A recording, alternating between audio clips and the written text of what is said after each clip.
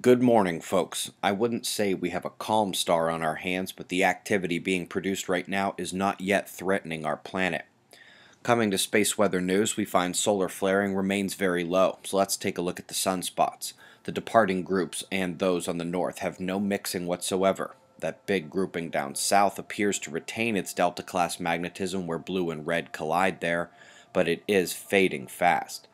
That active region down there has produced a number of small CMEs, but none appear to be Earth directed, nothing big coming, and nothing big has hit. The solar wind remains very calm, and Earth's magnetic field is having a nice little weekend vacation.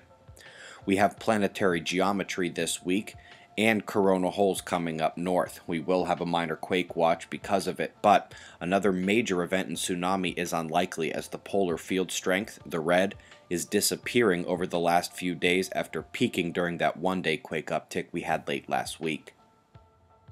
Speaking of such things, you all remember our paper with Dr. Holloman and Dr. U-yen, self published on Space Weather News on August 3rd, and I asked for your help spreading the word. Less than one week later, New Concepts in Global Tectonics asked us to submit to them, and while it received its peer review, the Chile disaster happened, and as many of you know, we analyzed that one similarly. Just yesterday, I received the preprints of both papers to be published October 5th in the next issue of NCGT, the foundational paper plus the confirmation of the methodology used in that foundational study for the Chile quake. That reproducible result is vital to better understanding how the sun is triggering these disasters.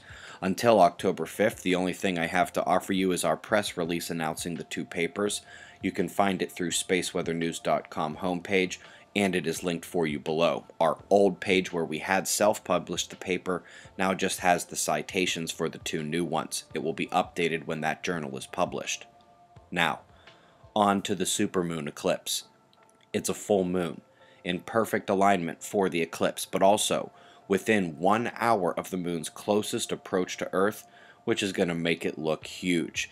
Tonight's visual splendor will be a great sight for dates, families, or just remembering why you stare up at night.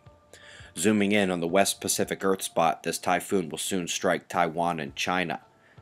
Moving on to Hawaii, where direct landfall won't happen, but the storm effects likely will. We also have a system developing south of Mexico that is ready to charge north, but so is a system that is just now developing in the Gulf of Mexico. I think we're going to have to have eyes on this one, folks. The featured content today is yesterday's episode of Fly on the Wall. We discussed the galactic flares and potential effects on our solar system, along with the major California winter warning. I'd also love you to check out the press release linked below, and the topic of solar triggered quakes will, of course, be part of multiple talks at Observing the Frontier. Time is running out to get your tickets. Hotel rooms at the venue are already gone, but there's plenty more nearby. October 17th in Pittsburgh. Come spend a weekend with us and observe the frontier. The conditions today will be pressure based. Yellow to white is high, purple to red is low. Watch how they spin. All highs spin out clockwise in the north and spin out counterclockwise in the south. All lows suck in counterclockwise in the north and suck in clockwise on the south. This is the most fundamental thing to learn if you want to be your own weatherman, especially when you realize that the precipitable water must go where the pressure tells it to. We also have shots of our star to close. It's 6.05 a.m. Eastern Time, and that's the news. Eyes open. No fear. Be safe, everyone.